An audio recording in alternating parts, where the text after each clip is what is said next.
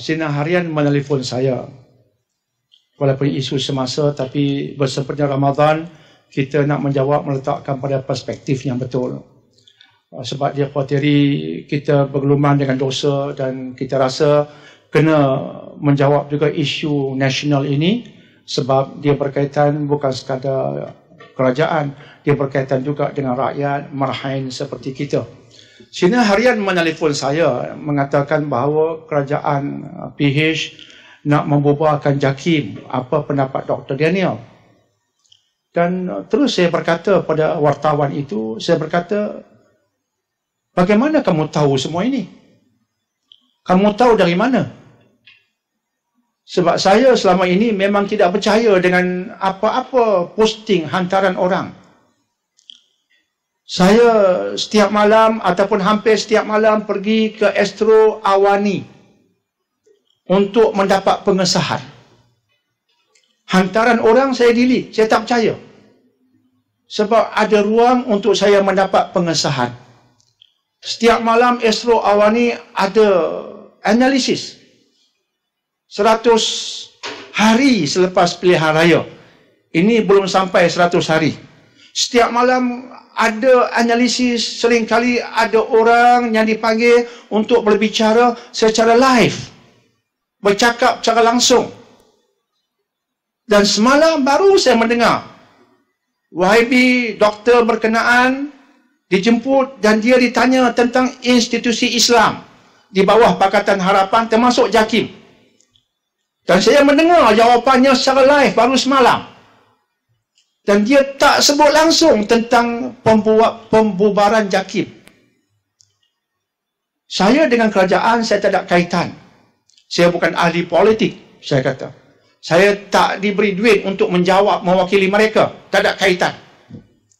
Saya cuma saya cuma meletakkan tinggi harapan pada kerajaan ini sebab saya nampak ada tanda-tanda kesungguhan nak melaksanakan urus tadbir yang baik.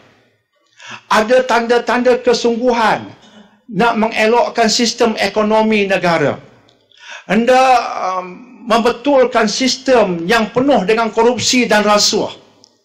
Oleh sebab saya nampak ada tanda-tanda kesungguhan tanpa saya tak asuh. Tanda kesungguhan ke arah kebaikan itu sebab itu saya letakkan harapan pada mereka harapan pada mereka yang agak tinggi ia tidak bermakna bahawa mereka ini maksum ia tidak bermakna bahawa kita ta'asub hingga kita butakan mata kita dari kesilapan mereka no tapi dia bermakna bahawa mereka ini kita kena berikan kepercayaan sebab tanda-tanda kesungguhan ke arah kebaikan tu ada. Oleh sebab mereka seperti itu, sekarang saya serius nak tahu apa mereka nak buat dan nak berikan peluang pada mereka mengelokkan negara. Disebabkan itu, setiap malam saya pergi Astro Awani nak dengar secara live kenyataan-kenyataan oleh orang yang layak memberi komen mewakili kerajaan. Maka you sinar harian You dengar Jakim nak dibubarkan dari mana? Sebab yang saya dengar live bukan begitu. Yang saya dengar live baru semalam ialah Wakil Pakatan Harapan mengatakan institusi agama Islam di Malaysia agak banyak.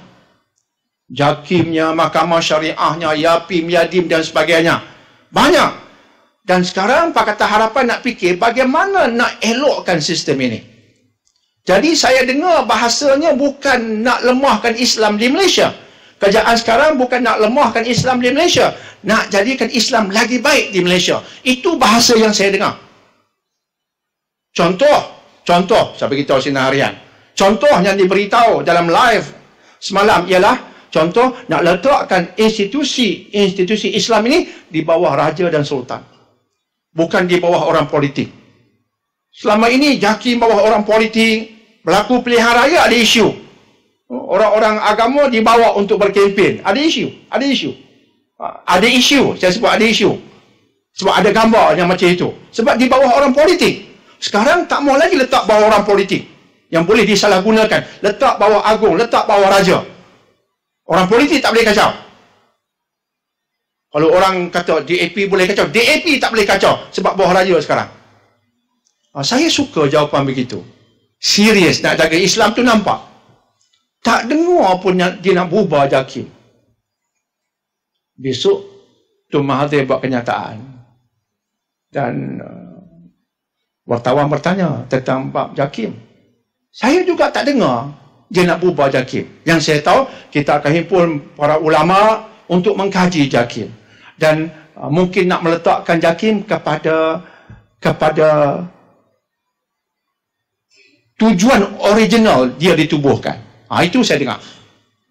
Jadi bahasanya bukan nak bubarkan JAKIM, tapi nak elokkan lagi sistem Islam melalui institusi JAKIM sebagai contoh. Ha, saya jawab kat Sinar Harian macam tu. Di you, oh, saya kata kat dia, you, bila you nak laporkan kenyataan Dr. Daniel, laporkan apa yang saya kata tadi. Apa yang saya, bahawa yang saya dengar, mengikut Dr. Daniel, uh, tentang isu pembubaran JAKIM ini sebenarnya tak wujud sebab yang yang saya tahu ialah mereka nak elokkan lagi JAKIM itu ada ha, sebut apa yang saya kata dan you sebagai wartawan you jangan ledakkan benda yang tak betul you jangan buat kerja itu wartawan sinar harian pun terdiam lepas tu tahu John dia kata minta maaf Datuk kacau waktu Datuk hmm. Ya, tak kacau waktu saya lapor oleh elok saya tak tahu apa dia lapor. Saya tak baca sinar harian. Tak maaf. Saya tak tahu apa dia lapor. Uh, maka saya beritahu sekarang apa yang saya jawab. Okey.